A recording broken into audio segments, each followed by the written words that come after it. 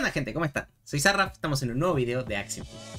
Hoy vamos a hablar de que para mí es otro de los problemas. Sé que estoy trayendo muchos videos con reflexiones, con preguntas, con situaciones que yo creo que para mí son un problema, pero de verdad me parece que tienen que cambiar de cara a la próxima season, porque son cosas que uno va notando y que sobre todo, o sea, por el feedback que veo de la gente, o sea, la gente que me comenta en Twitter, la gente que me comenta en YouTube, eh, de cosas que están cansados de ver en el juego, y en este caso son las runas, ¿bien?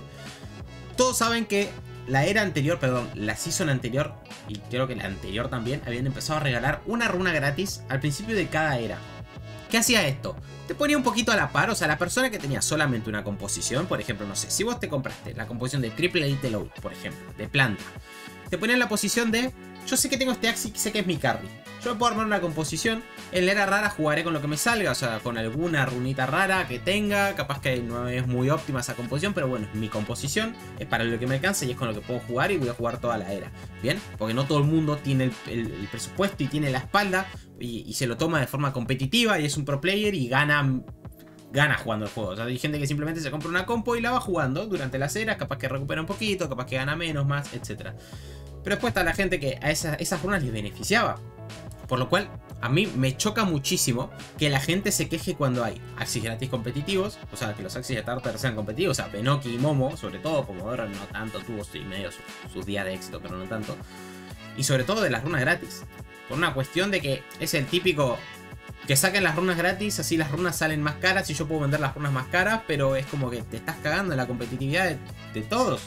O sea, el que juega con una sola composición, le daban una runa épica, si tenía triple little load de planta, por ejemplo, iba a sacar eh, el, Miracle Leaf, creo que se llama la runa, si no me equivoco, y iba a jugar con su Axi, todo contento, o capaz que esperaba y capaz que sacaba Miracle Leaf y la crafteaba, y después con esa runa se sacaba Leecher porque tenía un bicho y le molestaban las compos de sustain, o sacaba alguna otra cosa, qué sé yo, o sea, sacaba un pangolín, sacaba cualquier otra runa, o sea, cualquier otra runa que te sirva. En era mística lo mismo te daban una runa gratis de las místicas. Normalmente la gente solía sacar las stand, pero podía llegar a sacar cualquier otra.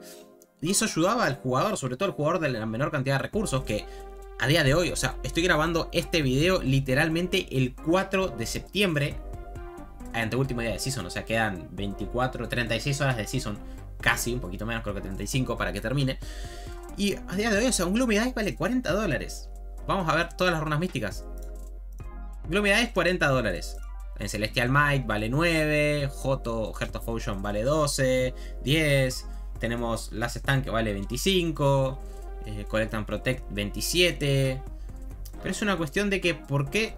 A ver, si yo con 27 dólares puedo armar una composición entera, ¿por qué?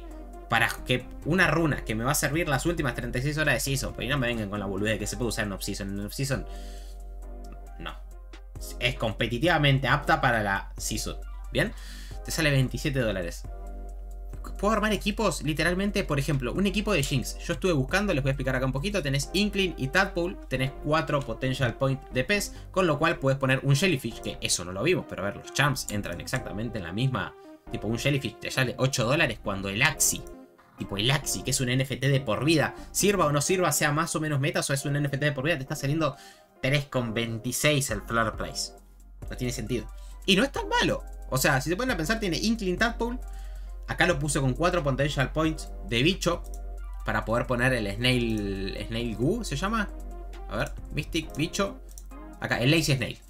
6,68. Te sale el doble que el Axi. ¿Bien? Entonces, cuando me invitaron al torneo este de los 15 dólares de presupuesto para armar una compo, dije, wow, se puede armar composiciones muy baratas. O sea, tenemos el concepto de que armar una compo es caro. te va a depender también de la persona, de que si 15 dólares es mucho o es poco. Pero realmente puedes armar una compo con esperanza competitiva, por decirlo de cierta forma. No te digo una compo de top 1, por favor. No, tampoco A ver, si sos buenísimo capaz que lo encontraste, sí, te armaste una compo de top 1. Pero normalmente lo que voy es puedes armarte una compo de top 200, top 300, top 500 para arriba. Vamos a dejarlo en top 500 para arriba, ¿bien? Tranquilamente. Dependiendo de cómo gire el meta, si sube, si baja, si es para era mística, si es mejor en era épica, si es mejor en era rara. ¿Sí? Depende de un montón de factores. Pero en alguna era, por lo menos, vas a estar arriba del top 500. Entonces, y vas a poder farmear tus SLP, y vas a poder craftear, etc. Pero ¿qué pasa? O sea, mucha gente, qué sé yo, yo estoy seguro que con 15 dólares te puedes armar una copa bastante buena. O sea, si se ponen a pensar, este reptil no es malo. Tiene los 4 potential points de bicho para poner el, Lazy Snail. Tiene 4 potential de pez para poner eh, por lo menos un Jellyfish en, en, Tadpole o en Inkling. Después tiene Papi, que es una carta que necesitas. Es un Dusk, por lo cual vas a poder ponerle ¿Cómo se llama? Se fue. Wicked Ward, la runa de, de que es bastante bueno. Lo puedes jugar con Moonlight, lo puedes jugar con, con Gloomy Dice también, que vimos que vale 40 dólares. O sea, no tiene sentido. Nos ponemos a ver y hay un montón de Axis que son buenos. Este, por ejemplo, tiene Garish, está bien, tiene Cactus y tiene Gecko de ojos. Pero tiene Garish. O sea, y así como esto hay un montón, pero un montón de Axis que nosotros podemos ver, que podemos buscar. O sea, van subiendo cada vez más de precio. Acá, por ejemplo, lo tenemos el filtro, pero con 5 potential de bicho. ¿Por qué? Porque los bichos no tienen 4 potential nunca. ¿Bien? Entonces fíjense que este, por ejemplo, por 5 dólares tiene Cupid en la espalda, que al final te da un poco más de supervivencia. Tiene Papi en los ojos, que no es una carta muerta. Tiene Clamshell, que es la peorcita de todas. Pero bueno, o sea, dentro de todo le pones un retain o algo por el estilo. Acá que tenemos, tenemos Tadpool, tenemos Inkling y tenemos 8 potential de pez para poder poner 2 para la Jellyfish, bien. Para poder poner eh, uno en Tadpool y uno en Inkling, en el mismo Axi. Tenemos este reptil que bueno, tiene Martín Pescador en la espalda. Tiene... Ay, no me acuerdo, se me fue el nombre ahora. Esperen que entrar para fijarme el nombre porque se me fue el nombre completamente. Eh, Kingfisher. Esa carta que no usa nadie, por favor, hagan un rework urgente. Eh, después tenemos bastantes bichos. O sea, este tiene Garish, tiene Neo. en Catfish y Clamshell son bastante troll, pero es un Axi de menos de 5 dólares. Tenemos más opciones. Te tienen Raven Tactic, eh, Star Shuriken, Clear en los ojos, Double Talk. O sea, tampoco es malo. Es una cuestión de ir adaptándose e ir viendo. Pero hay Axis, o sea, que me parecen que son buenísimos. Este tiene Garish y Bambú.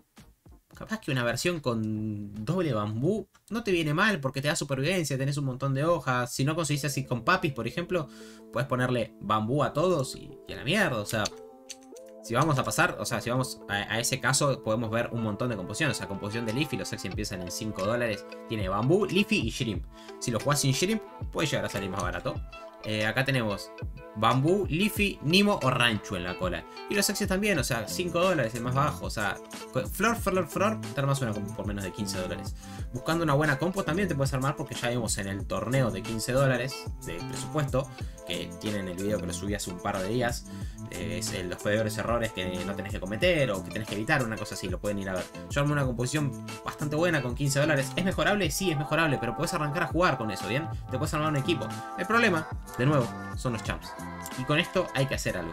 A mi gusto personal, que sean NFT está bien, el problema es su utilidad. Estaría bueno que si quieren agregar, si quieren mantener la quema de SLP, directamente que agarren y que vos gastes, no sé, 100 SLP para las runas raras, eh, 1000 SLP para las épicas y 10.000 para las místicas, por ejemplo, y que la puedas usar la season siguiente y que se recicle. Bien, algo así, o sea, la propuesta da igual el número, o sea, da igual si es 100.000, 100.000 o 1, 2 y 3.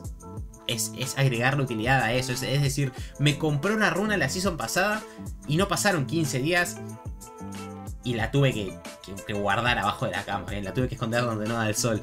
Tipo, dale una utilidad, valorá las cosas de la gente, porque o sea, las personas, al que juega el juego, al que no es un jugador competitivo, al que no está constantemente, prácticamente desiste, o sea, conozco mucha gente que vino y me dijo, yo desistí, yo no estoy jugando más la era mística, porque no tengo una runa gratis, porque no crafteé lo que necesitaba y porque no voy a ir a pagar 40 dólares un Gloomy Dice. O sea, hoy está más barato, hoy es el día que más bajo está junto con mañana, por una cuestión de que son los últimos dos días de season, e igualmente sigue habiendo runas arriba de 20 dólares. Para el jugador competitivo es un riesgo que asume en contraposición de quedar lo más alto posible en el ladder y tener un montón de composiciones para jugar. Para el jugador más tirando a casual o que intenta ser competitivo pero no tiene una gran billetera no tiene una gran espalda o no se puede permitir porque quizás tiene una familia, porque quizás no le da, o sea, porque tiene una vida además de Axi. Realmente gastar 20, 30, 40 dólares en una runa más en Charms, o sea, si te armas una compo de, de, de Jinx, por ejemplo, o sea, en Charms, ¿cuánto gastás? Porque acá vemos un Jellyfish a 8 dólares, pero no es uno. O sea, necesitas por lo menos 3, uno para cada Axi. O sea, ya literalmente te gastaste 24 dólares en Charms nomás. Bien, para mí esto de cara a la próxima season tiene que cambiar. Sea dándole más utilidad, o sea que quemas un poco de SLP pero puedes usar las cosas de la season pasada. Sea sacando el crafteo por SLP y haciendo que esto sea un poco más asequible para todo el mundo. Dando por lo menos un pequeño incentivo más. Para mí la runa gratis no estaba mal. No estaba para nada mal por una cuestión de que le estás dando accesibilidad a la gente que tiene la menor cantidad de recursos para jugar. O sea, el que tiene una sola, además es una sola runa. O sea, ¿cuántas runas místicas hay? Hay, si no me equivoco, dos por cada clase, son nueve clases, o sea, hay 18, ¿no? Tipo, literalmente son 18 runas místicas, 20. Son 20 runas místicas. O sea, porque hay dos neutrales. No te cuesta nada. O sea, al jugador competitivo no le cambia nada, baja el precio de las runas. Es la típica de, no, sí, no den runas gratis porque van a subir el precio de las runas y yo voy a poder vender más caro. Vos estás vendiendo y no hay nadie que esté comprando. Porque a la persona que vos se la vendías, porque bueno, eh, claimé gratis, la season pasada me pasó eso, o sea, yo claimé gratis eh, las stand, tuve la suerte de craftear en el Sanger y fui y me compré un collect. Entonces yo ya tenía 2 de 3 y dije, bueno, me compro un collect, hago el esfuerzo, me lo compro y no me molesta tanto. Ahora, si tengo que ir a comprar Endless, collect y las stand, son 20 del Endless, 28 del Collect y 25 de las están hoy, porque hace 2 o 3 días estaban arriba de 50 dólares. Bien, así que gente, espero que les haya gustado el video. Díganme ustedes qué opinan en los comentarios. Déjenme su like, suscríbanse, activen la campanita. Y obviamente estos videos son sobre todo para fomentar el debate de forma sana. No de putear, no de generar odio, no de incentivar que la gente empiece a prender fuego todo. Bien, es simplemente dando mi opinión y también dando quizás alguna que otra propuesta. Yo soy Sarraf y nos vemos en el próximo video.